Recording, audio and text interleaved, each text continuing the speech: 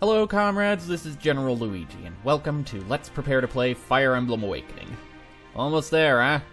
All we have left now are the two shapeshifters in the first group.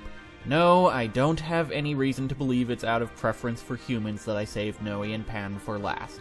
In all honesty, these two are just people I've never really had a specific husband in mind for. Anyway, as always, before I start, I feel I should remind you that I'm classifying pairings according to my personal views on what works, what doesn't, what's believable, and what isn't. You are free to disagree with me, and I wouldn't be surprised if you did, but as I pointed out in the prologue, I will not stand for flaming.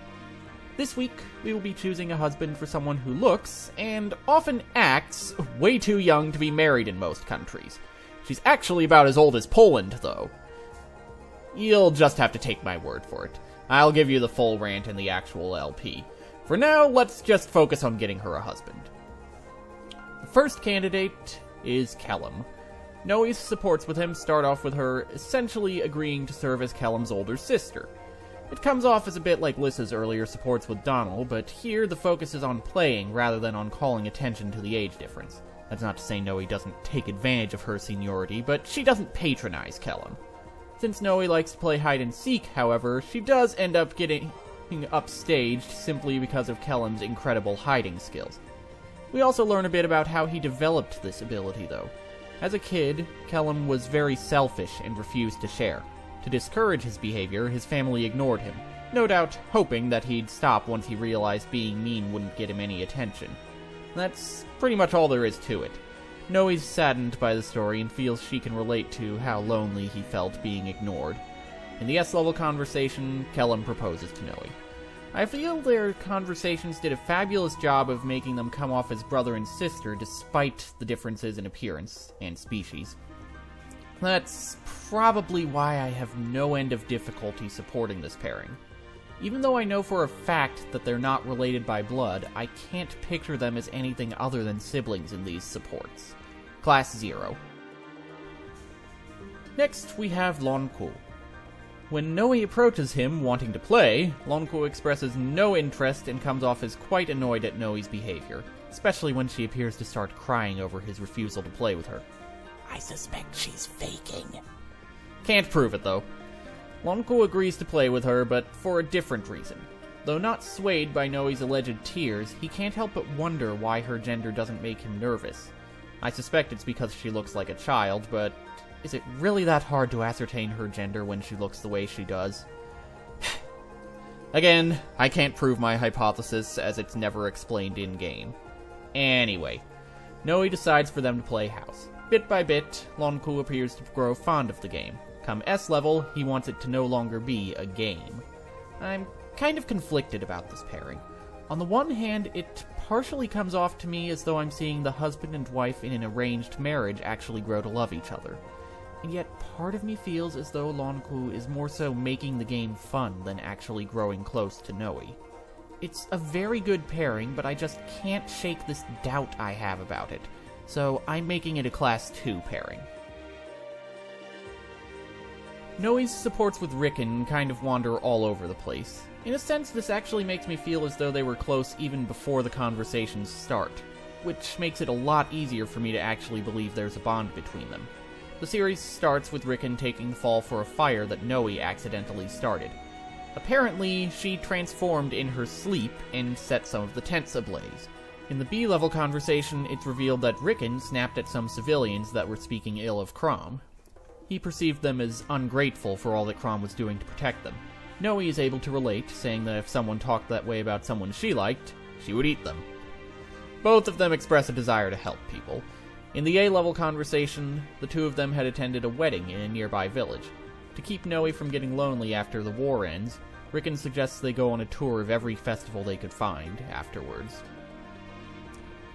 I feel this is a nice lead in to Ricken's marriage proposal in the S level conversation.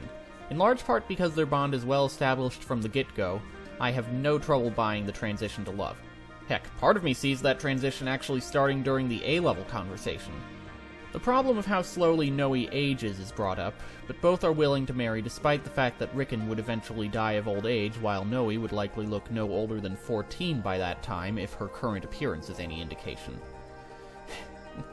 This is definitely a Class 3 pairing in my book. With Libra, attention is once again called to his dark past during his supports with Nowi. He mentions a wound of the heart when Nowi asks about a scar on his neck. Said wound is, of course, his being abandoned by his parents, something you probably recall from his supports with Tharja.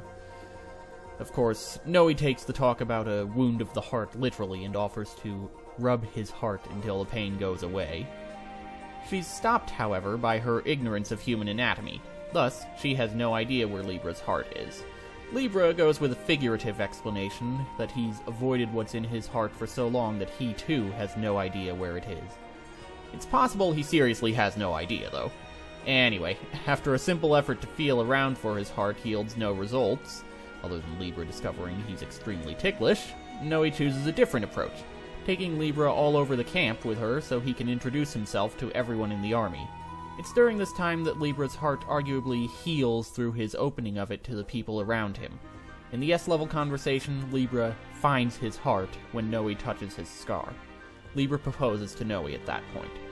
I'm able to see a definite bond forming between the two of them over the course of their conversations. I can also easily buy them falling in love, though I did have to search a little to see signs of it in the conversations themselves. Still, this pairing manages to make the cut for Class 3. Finally, Nowi's supports with Donnel look into their respective pasts. As it turned out, Donnel got a special stone from his late father. Said stone supposedly has a great power hidden within it, so Donnel promised to find said power. Nowi never knew her father, though, so she's a bit envious of the promise Donnel made. She was kidnapped right after she was born, you see. We don't get a lot of details about it, though, only that her place of birth is very far away and she doesn't recall exactly how to get there. Because of this, Donnel promises to help her figure out where it is. That's really all there is to these supports, in my opinion. Donnel proposes to Nowi in the S level conversation, but with what happened in the conversations leading up to it, their falling in love strikes me as rather sudden. As such, I consider this a Class Zero pairing.